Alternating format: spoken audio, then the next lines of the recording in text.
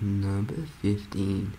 The last thing you want in your Smash Bros. video game is someone's Fire Emblem, but that turns out that may be what you get.